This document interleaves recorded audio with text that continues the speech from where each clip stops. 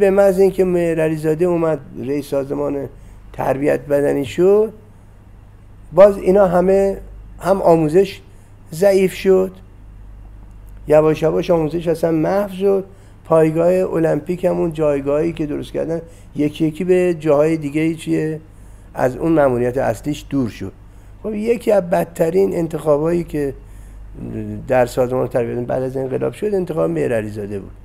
اصلا این آدم علاقه ای به سازمان تربیت بدنی نداشت. ایشون استاندار بود و حالا چون از نزدیک هم باش کار می‌کردم آدم جا طلبی هم بود.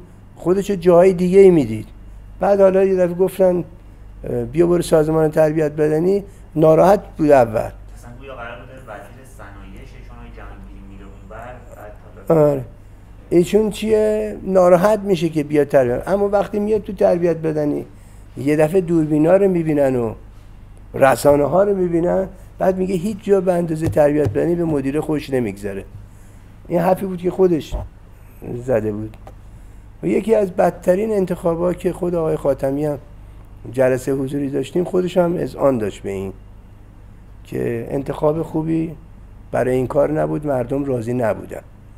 این رو هم جلسه حضوری که ما باشیم. بله بله. از ما سوال کرد. ولی خب بالاخره رفیق بودند و جناحی اینا بودن انتخاب خوبی نبود چون خیلی از برنامه هایی که ما پایگذاری کرده بودیم برای توسعه ورزش اینا چیه؟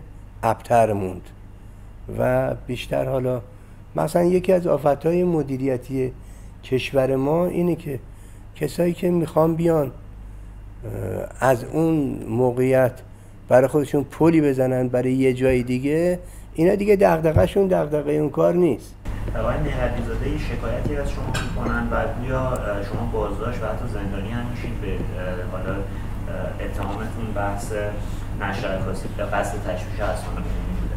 اصلا بهمون توضیح بدین که چی گفته بودین چی شده بود ماجرای شکایت چی بود؟ بعد زندانی شدنتون چقدر طول کشید؟ بعد یا مثل اینکه با پادرمیانی حل شده؟ یه توضیح کامل در رابطه بدین یکی از موارد اختلاف من با ایشون این بود که این اساسنامه ای که الان چیز بود بعدا امضای منو جل کردن.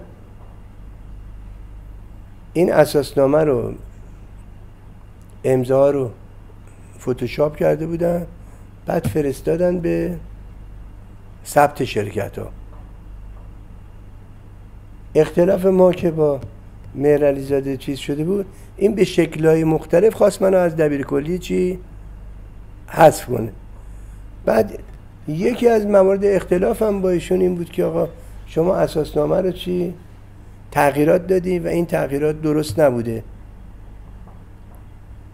بعد بالاخره یه روز شما یه خبرنگاری از من سوال کرد که علت چیه؟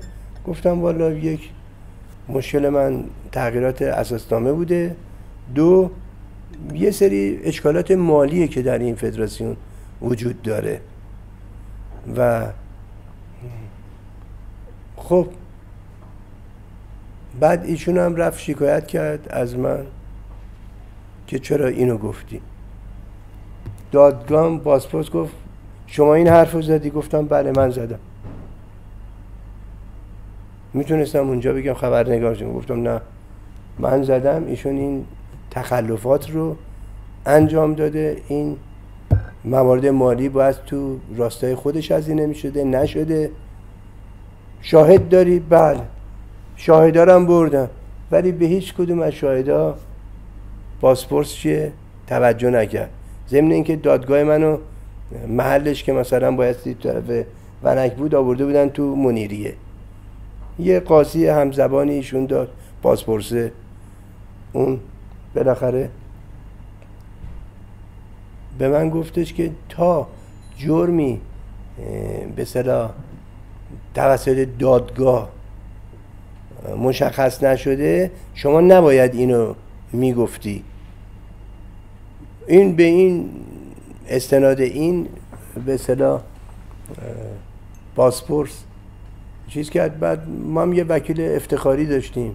ولی خب ایشون یک وکیل مبرز داشت و هزینه هم کرد. هزینه کرد و اون وکیل ایشون خب برنده شد.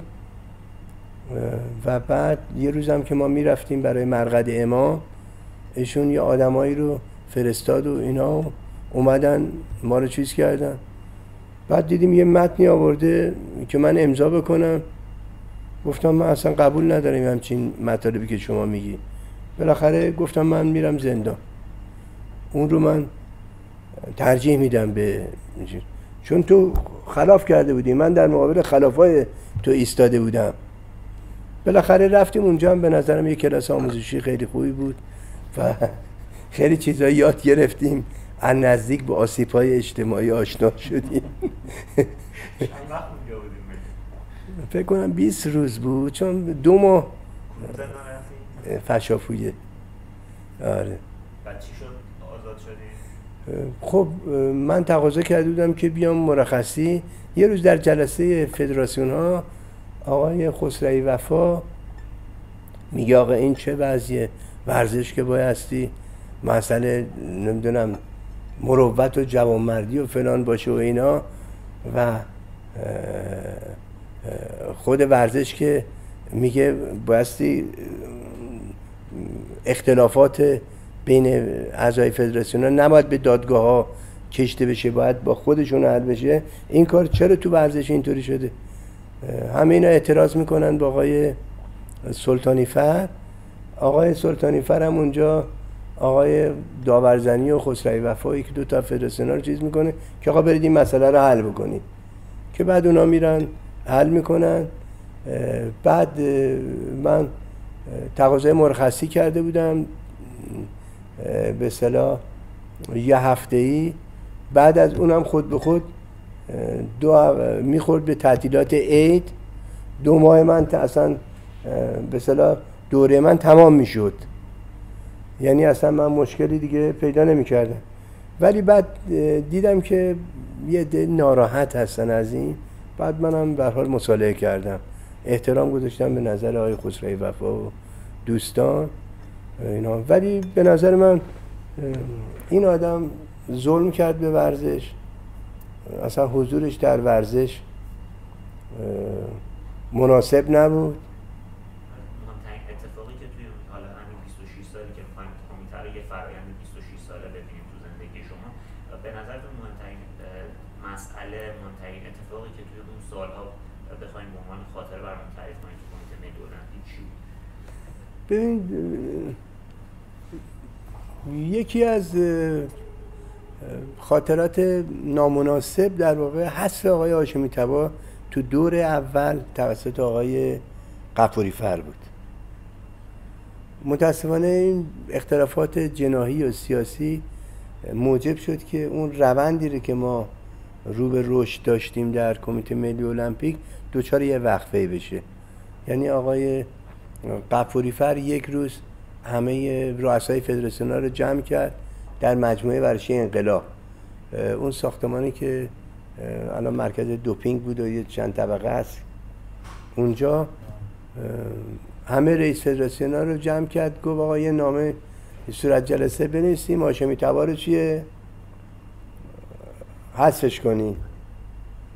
بعد اومدیم اونجا یه صورت جلسه رو آوردن و حالا منم اونجا نشسته بودم بودم. بعد گفتن آقا آقا سید امضا بکنه. نفر سوم شاید چهارم بودم که من.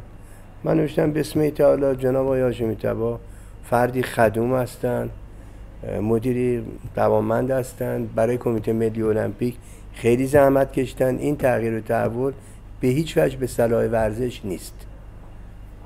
من نوشتم بعد چند نفر باز امضا کردن تا رسید به آقای ناطق احمد ناطق نوری. اسم یا گفت دک اینی که امضا کردیم که پس یعنی این که داریم تایید می‌کنیم آقای هاشمی تبار بعد اون جلسه یه دفعه آقای غفوری فر البته آقای غفوری فرم یه قائم مقامی داشت به اسم آقای عبداللهیان. این خیلی جنایی و از معترفه بود و اونا خیلی می‌زدن علیه هاشمی تبا. چه سالی من نمیم سال 66 بوده 67 بوده یادم دقیق نیست.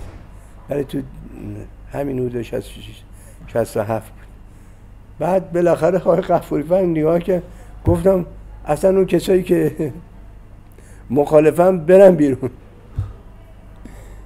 خب تو اون جلسه مرحوم علی آرمند رئیس فدراسیون تنیس روی میز با من هم نظر بود. ایشون اومد بیرون. فکر می‌کنم آقای وحید مرادی هم شنا بودند و اینا. وحید هم اومد بیرون. بله دیگه. ما را از جلسه بیرون کردن. در واقع. فکر می‌کنم ده خدام با ما بود احتمالا. بالاخره چند نفر ما اومدیم بیرون و بعد بالاخره یه جریانی چیز میشه که آقای قفوری فر پیگیری می‌کرد که اون موقع من رئیس فدراسیون هندبال بودم. بعد از اون بود که آقای قفوری فر فشار آوردن به آمپس پاورش که آقای محمد علی نجفی وزیر بودن که منو از آره از اونجا ما رو بردارن. ولی خب ایشون خودش ما رو از هندبال برداشت.